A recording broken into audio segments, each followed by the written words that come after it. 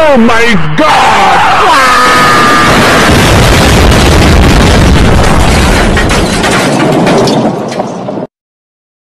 Ya hemos visto muchos diseños de Godzilla con mi compañero Kim Kaiju.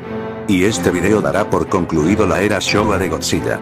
Así que hoy veremos el Sosingeki Goji y el Megarogoji. Respectivamente. Y sin más que decir comencemos con este video. Sin duda uno de los diseños de Godzilla más populares, el traje Sosingeki Goji presentaba un cuerpo en forma de campana con un esternón pronunciado, un cuello largo y una cabeza algo similar al Daisenso Goji, con cejas definidas y ojos más amenazantes que los anteriores trajes Daisenso Goji y Musuko Goji y una gran mejora sobre los anteriores. Los ojos de este traje no eran móviles, aunque los párpados se agitaban brevemente en la escena cuando del enfrentamiento contra King Ghidorah, pero este también es conocido por aparecer más veces en toda la franquicia de Godzilla.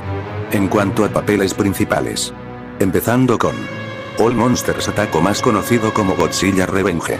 Lanzada solo un año después del final previsto de la serie Godzilla. Destroy All Monsters, pero debido al gran éxito de la película anterior mencionada. La franquicia continúa pero ahora con un muchísimo menor presupuesto, y con escenas de monstruos que consisten principalmente en imágenes de archivo extraídas de otras películas de Godzilla. All Monsters Attack contó con el traje del año anterior. Con ningún cambio. Dos años después el traje regresó para Godzilla vs. Egora. En 1971. Ahora el traje tenía los ojos más redondos, mientras que la boca tenía una expresión diferente. Debido a las escenas de muerte en la película. Gracias a Egora. Al director se le ocurrió una escena cómica para que no sea tan oscuro el film. Y así nació el Godzilla volador. Para esta se utilizó una marioneta de pequeño tamaño de Godzilla. Y para que volara se usó un hilo. Aunque no se mencione ese traje, también apareció en los... Más específicamente en un espectáculo creado por Toei Dairei, que tuvo lugar en marzo de 1970. Donde parecían kaijus como Minilla. Gorosaurus e incluso Guiaros. Jiger y Gamera, y por supuesto el Sosingeki Goji. E interpretado por Auro Nakajima. En Godzilla vs Gigan otra vez volvió. El traje tenía ojos distintos. Ahora sí tenía los párpados móviles. Desafortunadamente, después de unos 5 años de eso empezó a desgastarse.